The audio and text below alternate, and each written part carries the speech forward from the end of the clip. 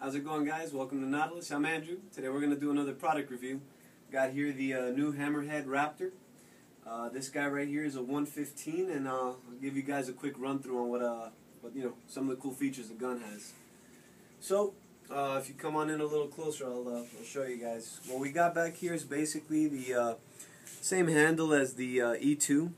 You got the safety up here, easy to get to, the stainless steel housing, stainless steel trigger with the nice trigger pull side line release so your uh, line doesn't get tangled up if you guys do mount a reel on the bottom.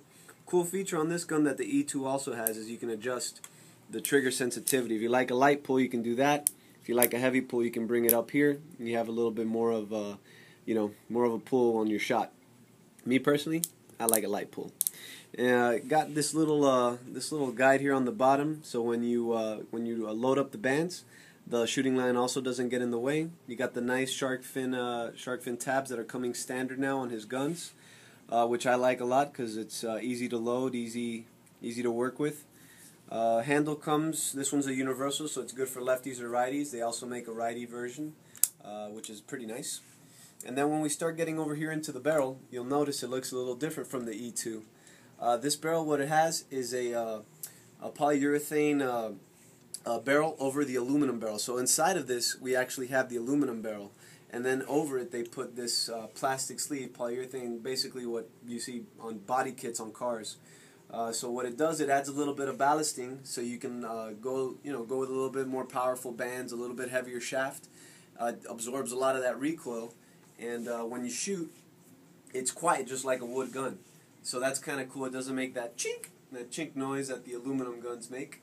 Uh, has a cool shape too. If you actually look when you load these bands, the bands actually have that cuttlefish shape, the, the barrel, so the, the bands line up on it, which makes uh, tracking pretty nice. Uh, on the tip, you're going to see more of the same as the uh, E2, the E2 uh, muzzle, open muzzle design, of course. There you can see the uh, line wrapping over. That's what keeps the shaft in place. you got the two band slots, one one higher than the other. That way, when you load it, uh, load it back, it keeps the trajectory nice and uh, nice and solid. Uh, you got the, um, the, line anchor on the bottom, and if you had a reel, the line would just pass through under there. So, uh, all in all, pretty sweet gun. Has the uh, rail also integrated into the uh, into the plastic stock, as you see right there. So it's pretty nice. Here's that dial, so you guys can take a little better look at it. Just dial it up. You change the sensitivity. So, all in all, pretty sweet gun. A little bit more beefy than the E2. a little bit more pricey, but not too much more. So all in all, I think uh, it's a pretty pretty nice gun.